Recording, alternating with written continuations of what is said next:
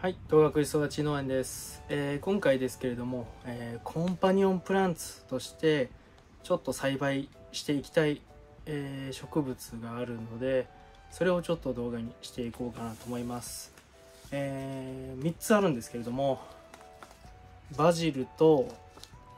えマリーゴールド。こちら2種あってですねフレンチマリーゴールドと、えアフリカントールマリーゴールドと。これ3つ。とりあえずまあ、考えております。でもう種まきもですねしていくんですけれどもコンパニオンプランツっていうのは基本的にはですねまあ本来収穫したいとか、まあ、栽培していく作物とは別に何かを植えて、まあ、お互いの相乗効果で、えー、その収穫したいもの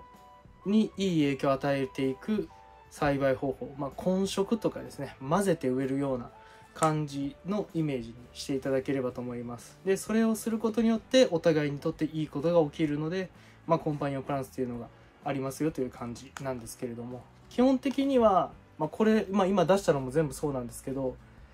えー、匂い強いのがありがちというかですね、えー、コンパニオンプランツとしての、えー、機能持ちがちみたいな感じのところがあって、まあ、バジルとかもハーブ系なんで匂いしますしえー、マリーゴールド系もですね、まあ、えー、あったりします。で、あとは、まあ、ニラとかネギとか、まあ、そういったのにも効果がある、えー、コンパニオンプランツとしての効果もあったり、えー、しまして、まあ、ちょっと匂い強いのに、そういうのがあるよ的な感じの認識でもいいとは思っています。で、まあ、一個ずつですね、説明していくと、この、まずバジルですね。で、バジルは、えっ、ー、と、トマトとともに、えー、植えていきたいと思います。まあ、トマトとトマトの間。まあ大玉でもミニトマトでも全然構わないです、えー、これはですねまあハーブ系の通りですね。まあ匂いがしたりとかで、まあ、虫除け効果自体もあったりとか、えー、あとはですねトマトの食味が上がる。まあ糖度とか詳しく言うとその辺になってきますけれども糖度とかが上がってくると、えー、まあこのバジル自体はですね結構水分をえー、まあ、好む植物になっています。でトマトは基本的には水分ってそんなに実はなくていい作物なんでお互いの住む条件って普通はまあバラバラというか、ね、合わないんですけれども、まあ、バジルがトマトの、えー、根っこの周辺にある余分な水分を吸い取ってくれて、まあ、トマトにとってもそしてバジルにとってもいい環境になると。その畝の中とかですね。そういった環境がまあ整うという感じです。でまあトマトは水分がある程度抑制されますと、まあ、糖度が上がっていくというかですね、まあ、そういった性質あるので、まあ、バジルがあったりするわけなんですねまあ。もともとそのバジルの葉っぱとトマトの相性ってもちろんいいっていうことはですね、えー、まあ、ご存知の方も多いです。食べるという面において。まあ、そういった意味でも、まあ、使えますし、えー、まあ、相性がいいですので、まあ、ぜひ、まあ、やっていただけるのもいいと思いますしまあおすすめできるかなと思います。あとですね2つありましてこのマリーゴールドですね、えー、アフリカンマリーゴールドとフレンチマリーゴールドがあります。でこれ違いがですね、まあ、何かって言いますとこの裏面でやっとわかるかなっていうぐらいなんですけれども。えー、こちらですねフレンチマリーゴールドこの背丈ですね。えー、草丈っていうのかな？25から30えアフリカンマリーゴールドはですね、このところがですね、え60から90センチ前後となっています。その数字からもわかる通りですね、まあ、大きさがかなり違うわけですね。まあ、こっちは30センチだとしたら、こっち、あ、こっちですね。こっちが90センチ、こっちまあ30センチぐらいと考えていただければ、まあ、3倍ぐらいこっちの方が背丈が大きくなります。で、その分根っこも張るので、まあ、大体そうですねあの作物っていうのは大きく育つってことは下も大きくなりますし、まあ、これ去年も栽培実はしましたけれども、えー、茎もですねかなり太くなる。すごいなんか木のようになるぐらい、えー、強いんですけれども、まあ、その分根っこも張るのでその効果があります。でマリーゴールド自体のじゃあ効果は何かっていうとですね、えー、強いアレロパシー効果というのがあるとなっています。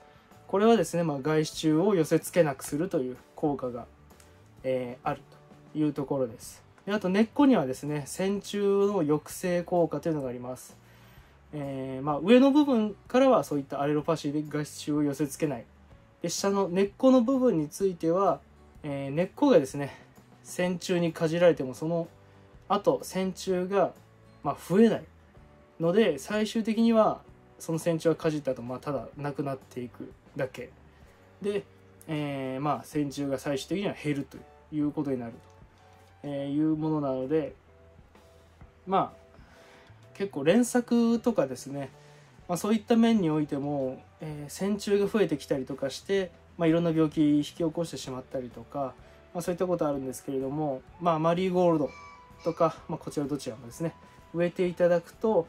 まあ、そういった線虫に効果がありますので、えー、まあ連作障害対策の一つにもなってくると思います。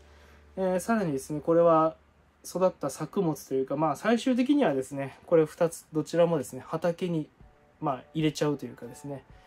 入れることによって、まあ、そのまたさらにそういった線虫の抑制とか、まあ、この葉っぱ自体葉っぱとか花自体がですね、えー、ま有機物にはなりますので、えーよくえーと、有機物でまあゆっくり分解されていって土の環境も飛んでいくということになるので、えー、おすすめの2つになってます。まあ、一応この今回、まあ、うちでやるのはこの3つかなという感じなんですけれどもコンパニオプランツを駆使して、まあ、なるべく、えーと、農薬とかですねそこの辺もちょっと減らせたりとかでさらにまあそういった病気とかですねそういった引き起こす線虫とかの効果もあったりして、えー、まあ作物の収穫量も邪魔をせずで景観的にもいい見た目もですね良かったりとか、まあ、バジルだったら食べられますし、えー、まあ、トマトの味も良くしてくれたりする、まあ、マリーゴールド本当に何にでもいいというかですね結構、まあ、夏野菜のナス科に対してかなり相性がいいというものなので、まあ、かなりおすすめできますしこれからのシーズン、えー、農作業で皆さんナス科の作物ですね、まあ、特に作る方多いとは思うんですけれども、まあ、マリーゴールドはかなり、えー、いいですよという感じにおすすめできます。まあ、うちも今これから、まあ、種まきしてですね、ちょっとこれからの夏野菜、えー、ほとんどうちはナス科が多いので、まあ、この2つですね、やっていっていきたいと思います。またいい作物と、あと、まあ、なるべくちょっと農薬を減らした栽培、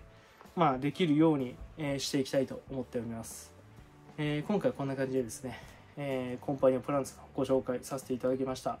ご視聴いただきましてありがとうございました。